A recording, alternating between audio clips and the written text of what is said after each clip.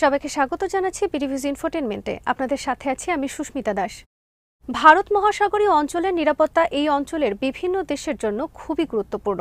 এই অঞ্চলের বাইরে যুক্তরাষ্ট্রের মতো দেশেরও এখানে বড় ধরনের স্বার্থ রয়েছে। বৈশ্বিক তেল বাণিজ্যের বড় একটি অংশ এই অঞ্চল দিয়ে পরিবাহিত হয়। সে কারণে এই অঞ্চলে প্রভাব বিস্তারের জন্য আঞ্চলিক ও আন্তর্জাতিক বিভিন্ন পক্ষ এখানে তৎপর রয়েছে। চীন তাদের বেল্ট অ্যান্ড রোড ইনিশিয়েটিভ প্রকল্পের মাধ্যমে প্রভাব বিস্তারের পথে অনেকটা এগিয়ে গেছে। অন্যদিকে যুক্তরাষ্ট্র চীনকে মোকাবেলার জন্য ভারত ও জাপানের মতো দেশগুলোকে সাথে নিয়ে জোট করেছে।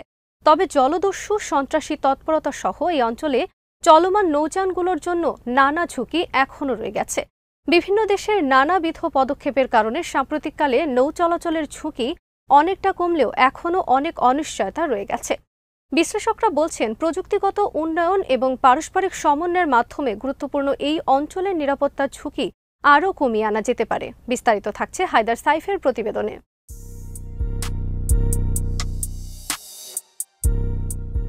মধ্যপ্রাচ্য, এশিয়া, ইউরোপ আর আফ্রিকাকে একসাথে যুক্ত করেছে ভারত মহাসাগর। এর মাধ্যমে ভারত মহাসাগরীয় অঞ্চল কার্যত বৈশ্বিক ব্যবসা ও বাণিজ্যের গুরুত্বপূর্ণ কেন্দ্র হয়ে উঠেছে। এই মহাসাগরের সাথে যুক্ত রয়েছে বেশ কতগুলো কৌশলগতভাবে গুরুত্বপূর্ণ প্রণালী। বাণিজ্যিক পরিবহনের উপর যেগুলোর বড় ধরনের প্রভাব রয়েছে। এর মধ্যে অন্যতম হল হরমুজ প্রণালী, বাবেল মানদেব এবং মালাক্কা প্রণালী।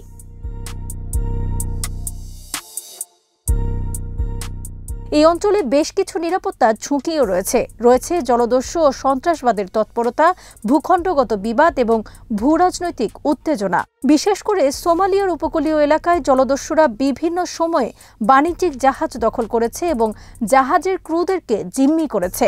বেশ অনেক বছর ধরে এই এলাকায় জলদস্যুরা একটি বড় সমস্যা ছিল। তবে সাম্প্রতিক বছরগুলোতে আন্তর্জাতিক নৌসেনা এবং বিভিন্ন শিপিং কোম্পানির নানাবিধ নিরাপত্তা পদক্ষেপের কারণে জলদস্যুদের তৎপরতা অনেকটা কমে এসেছে।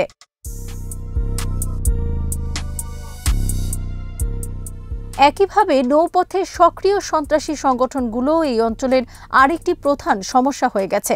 ভারত মহাসাগরের উপকূলীয় বিভিন্ন রাষ্ট্রে বেশ কতগুলো সন্ত্রাসী সংগঠন সক্রিয় রয়েছে। এই গ্রুপগুলোর কারণে জাহাজ পরিবহন রুট, বন্দর এবং অন্যান্য নৌ অবকাঠামোগুলো এক ধরনের ঝুঁকির মধ্যে রয়েছে। এই এলাকায় তৎপর সন্ত্রাসী সংগঠনগুলোর মধ্যে সবচেয়ে কুখ্যাত হল আল শাবাব সোমালিয়া ভিত্তিক এই গ্রুপটির আল কায়দার সাথে যোগাযোগ রয়েছে। আল শাবাব এ পর্যন্ত বেশ কতগুলো বাণিজ্যিক জাহাজ ও বন্দরের ফ্যাসিলিটিতে হামলা করেছে।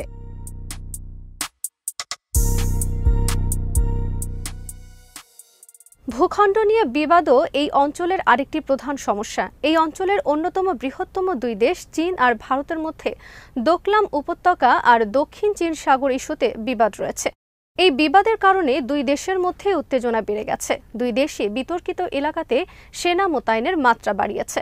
তবে ভারত মহাসাগরীয় অঞ্চলে উপস্থিতি জোরদার করার ক্ষেত্রে চীন অনেকটাই এগিয়ে আছে।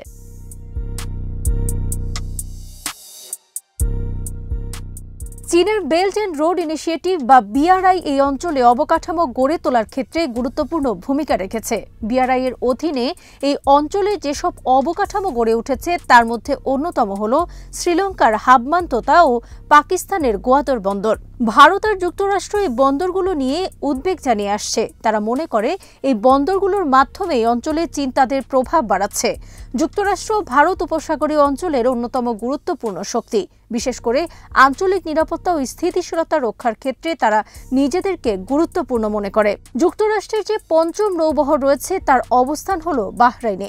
সে কারণে ভারত মহাসাগরীয় অঞ্চলে তাদের শক্ত সামরিক উপস্থিতি রয়েছে। তাছাড়া ভারত ও জাপানের মতো এই অঞ্চলের আঞ্চলিক শক্তিগুলোর সাথেও একজোট হয়ে তৎপরতা চালাচ্ছে ওয়াশিংটন। মূলত এই অঞ্চলে চীনের শক্তির বিস্তার ঠেকানোই তাদের প্রধান উদ্দেশ্য।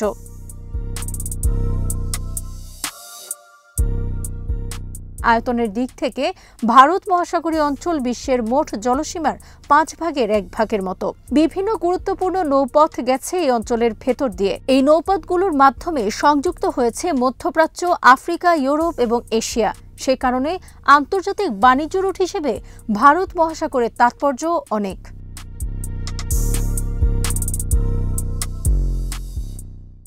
সারা বিশ্বে যে তেল বাণিজ্য হয়, তার আশি শতাংশই পরিবাহিত হয় এই ভারত মহাসাগরের বিভিন্ন নৌরুট দিয়ে। আর অন্যান্য বাণিজ্যিক পণ্য পরিবাহিত হয় চল্লিশ শতাংশ। সে কারণে অর্থনৈতিক তৎপরতা ও বৈশ্বিক বাণিজ্য সম্প্রসারণের জন্য এই অঞ্চলের ভেতর দিয়ে নিরাপদ পরিবহন নিশ্চিত করাটা খুবই গুরুত্বপূর্ণ। ভারত মহাসাগরীয় অঞ্চলের ভূ রাজনৈতিক মানচিত্র খুবই জটিল আর বৈচিত্র্যপূর্ণ। বহু রাষ্ট্র রয়েছে এই অঞ্চলে। বিভিন্ন রাষ্ট্রের বিভিন্ন মাত্রায় অর্থনৈতিক ও সামরিক শক্তি রয়েছে।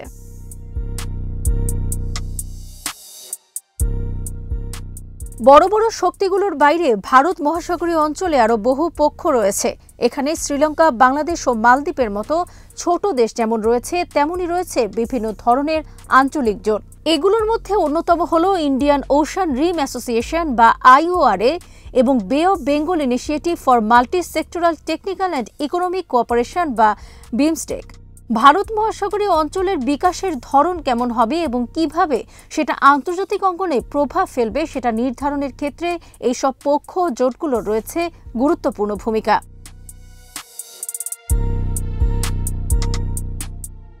ভারত মহাসাগরীয় অঞ্চলে নৌ নিরাপত্তার ক্ষেত্রে আরেকটি বড় ঝুঁকি হল ব্যাপক বিধ্বংসী অস্ত্র বা ডাব্লিউএমডির ব্যাপক বিস্তার। পাকিস্তান ও ভারত সহ এই অঞ্চলের কয়েকটি দেশের পারমাণবিক অস্ত্র রয়েছে।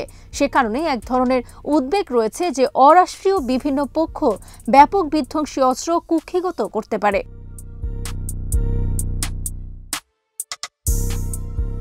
এই অঞ্চলে নৌসীমানা দিয়ে পারমাণবিক কাঁচামাল বা অন্যান্য সংশ্লিষ্ট উপাদানের পাচার ঠেকাতে বিভিন্ন দেশের সরকার ও আইন প্রণয়নকারী সংস্থাগুলোকে রীতিমতো হিমশিম খেতে হয়। আঞ্চলিক স্থিতিশীলতা ও বৈশ্বিক নিরাপত্তার দৃষ্টিকোণ থেকে বিবেচনা করলে ভারত মহাসাগরীয় অঞ্চলে কোনো সন্ত্রাসী গোষ্ঠী ব্যাপক বিধ্বংসী অস্ত্র ব্যবহার করলে সেটির পরিণতি ভয়াবহ হবে।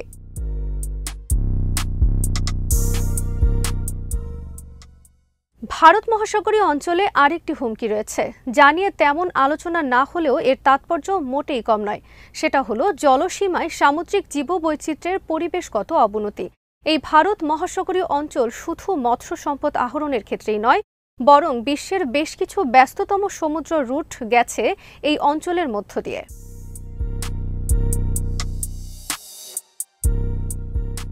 বিধিনিষেধহীন মৎস্য আহরণ, জাহাজ পরিবহনজনিত দূষণ এবং সাগরে বর্জ্য ফেলার কারণে সাগরের জীববৈচিত্র্যের ব্যাপক ক্ষতি হয়েছে। মাছের পরিমাণও অনেক কমে গেছে। সামাজিক পরিবেশের অবনতির কারণে জেলেদের জীবিকায় যে শুধু ক্ষতিগ্রস্ত হচ্ছে তা নয়, বরং এর একটি বৈশ্বিক নেতিবাচক প্রভাবও পড়ছে। সার্বিকভাবে বৈশ্বিক সমুদ্র সীমার স্থিতিশীলতা নষ্ট হচ্ছে আর খাদ্য নিরাপত্তা অনিশ্চিত হয়ে পড়ছে।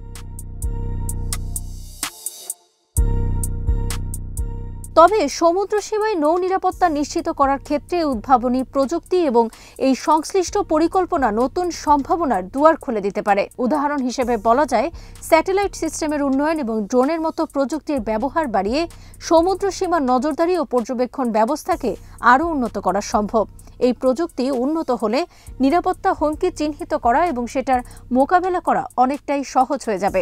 সেই সাথে ভাসমান পুলিশ স্টেশন স্থাপন এবং উপকূলীয় সম্প্রদায়ের সাথে যোগাযোগ বাড়ানোর মাধ্যমে ভারত মহাসাগরীয় অঞ্চলের নৌ নিরাপত্তা বাড়ানো যেতে পারে।